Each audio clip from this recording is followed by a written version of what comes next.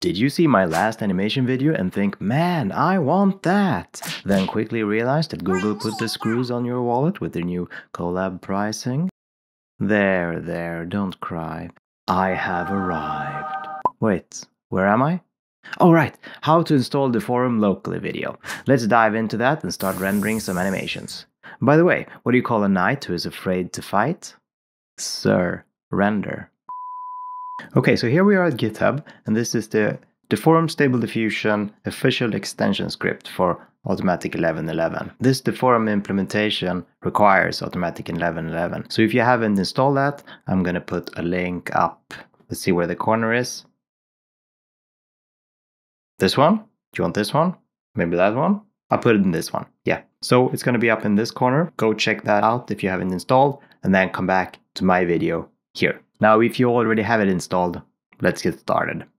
Now, the instructions are here. A lot of the steps here are not necessary for you. So first we're going to into command, just make sure uh, that our automatic 1111 installation is up to date. I'm going to go into our folder by writing cd, which is change directory. Now mine is here.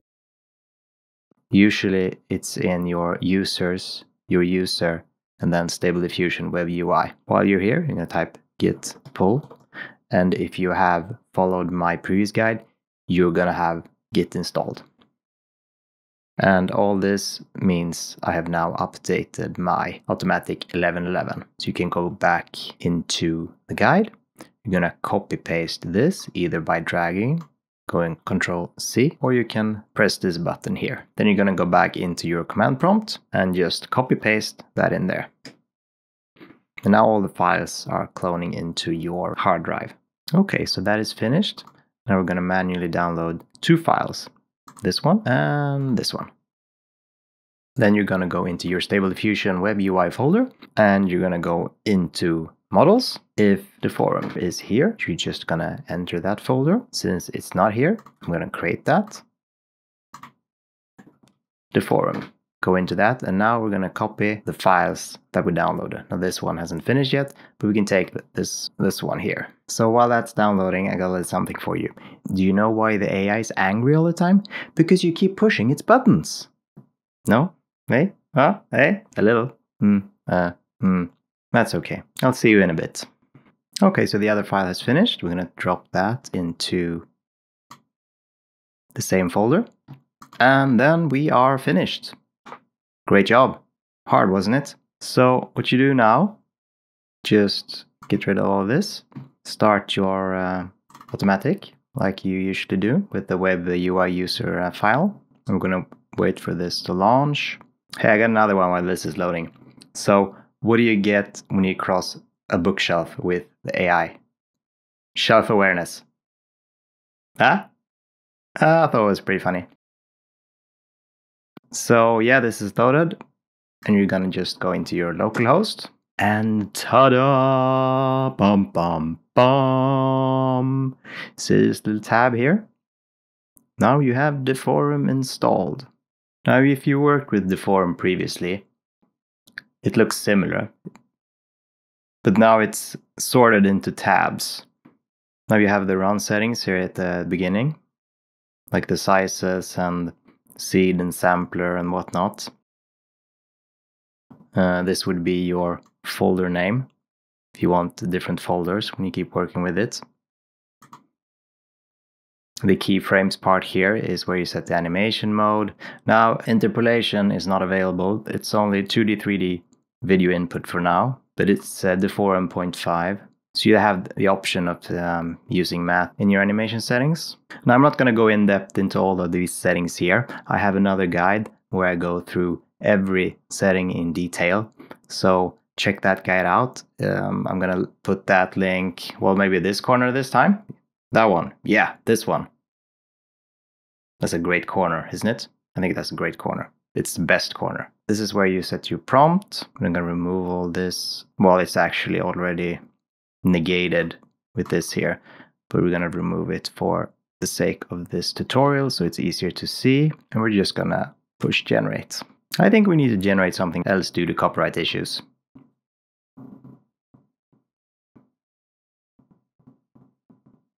And here we can see our apples, and this is real-time rendering. We can see this zoom going on, and I'm actually not speeding this up, so uh, we have great render speed now. We can actually see that in here. We have about 8 iterations per second on my uh, 3080. When doing stills, I get about 10, but this is this is all right. Let's interrupt this. Now, there has been an issue of late. Now, if your generate button does nothing, and it actually says so here, go into settings, click restart, Gradio refresh. And that's in the settings here, it's in the bottom here. If it's not working, press this, everything's gonna reload and try again. And if you can't get this to work, please reach out. You can write in the YouTube comments or you can check the Discord. There's a link in the channel description, and there's lots of people there that are very knowledgeable about Stable Diffusion. So come join us and um, share your art and animations, get feedback, whatever. Get support. It's a great group of people. Okay, let me show you an example of how you could start your animation. I'm gonna find a starting frame. I'm gonna change this size to 640 by 384 to closely resembles 16 by 9. I've put a prompt up here, Woman, Robot, Android, Bright Pastel Colors, Epic Scene by Victor Nagai, Killian Eng, Vibrant Colors. Actually want to remove the Vibrant here because you have the Bright Pastel Colors here. Dynamic Lighting, Digital Art, winning award, Masterpiece. Fantastically beautiful illustration, aesthetically inspired by Beksinski and Dan Mumford, Training and Art Station, art by Derek Zabrocki 8K. Right, and then we're gonna do Let's do four. I'm going to keep the scale at seven. And we're going to generate. And this is just to find a starting frame. We could start the animation at random, but uh, now we have more control of what's going on.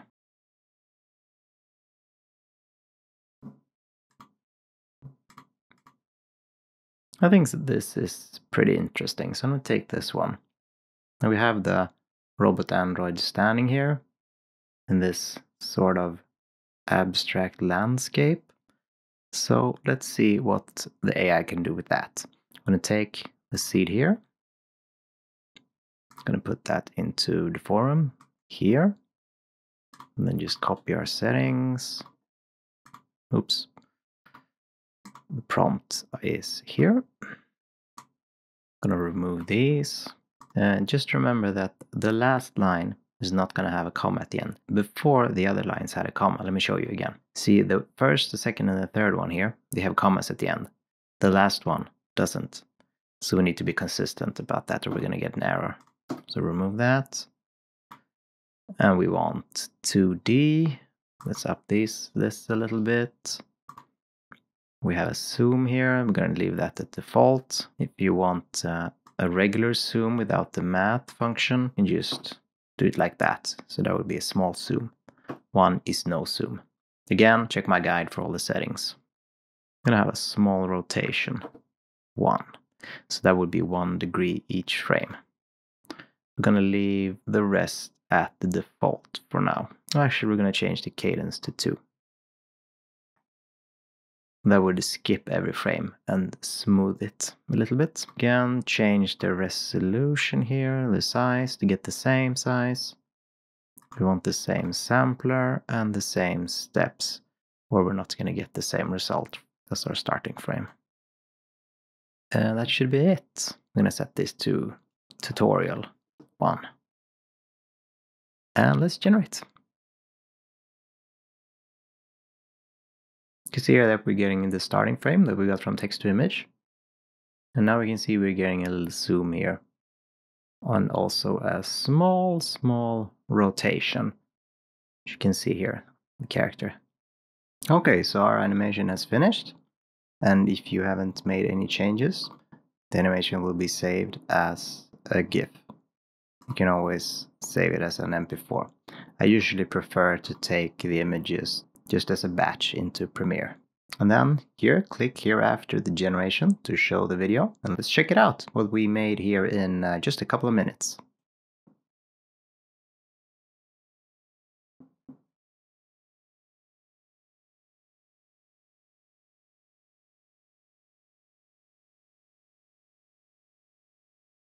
Yeah, so I think this is super cool without without any effort at all.